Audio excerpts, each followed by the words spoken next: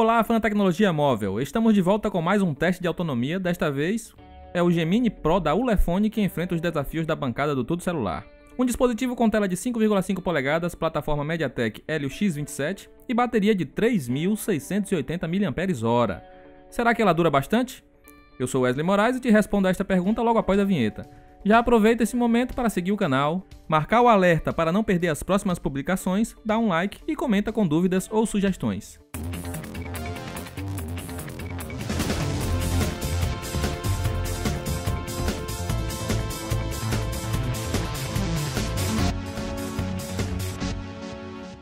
Acompanhando o Gemini Pro está um adaptador com saídas de 5, 7 ou 9 volts a 2 amperes, ou 12 volts a 1,5 ampere.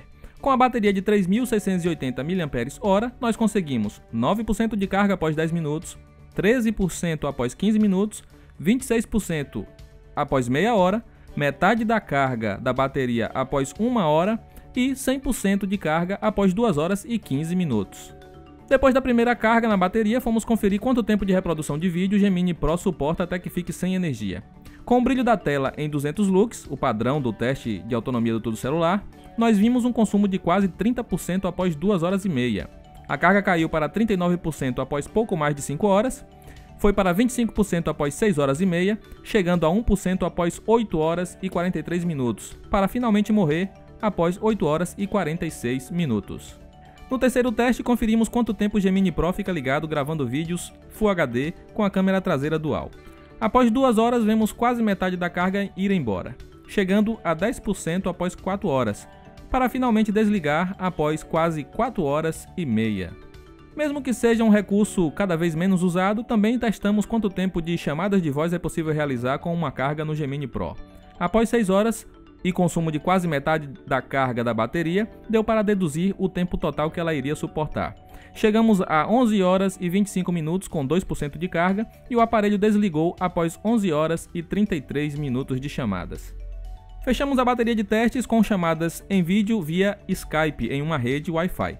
O Gemini Pro conseguiu 50% da carga após 2 horas, caindo para 20% após 3 horas de uso, para finalmente desligar após 3 horas e 46 minutos. Resumindo todos os resultados, temos os seguintes dados. A recarga completa da bateria de 3.680 mAh do Gemini Pro é feita em 2 horas e 15 minutos. Com a carga completa é possível reproduzir vídeos por 8 horas e 46 minutos, ou gravar vídeos por 4 horas e 27 minutos, ou realizar chamadas de voz por 11 horas e 33 minutos, ou ainda videochamadas por 3 horas e 46 minutos. Para uma bateria grande em um dispositivo com um Android 7 no lugar puro, esperávamos uma autonomia muito melhor. Parece que a plataforma MediaTek Helio X27 não conseguiu gerenciar muito bem o consumo de energia. Servindo de comparação, temos o Moto Z2 Play com uma bateria de 3.000 mAh e a plataforma Snapdragon 626, que conseguiu o dobro em praticamente todos os resultados do Gemini, ficando próximos aí um do outro apenas nos resultados de gravação de vídeos. E o valor do smartphone da Ulefone, mesmo importando, não fica tão baixo do que a solução da Motorola. De qualquer forma, ainda vamos ter o teste de desempenho, comparativo de tela e de câmera para poder falar melhor do conjunto do Gemini Pro.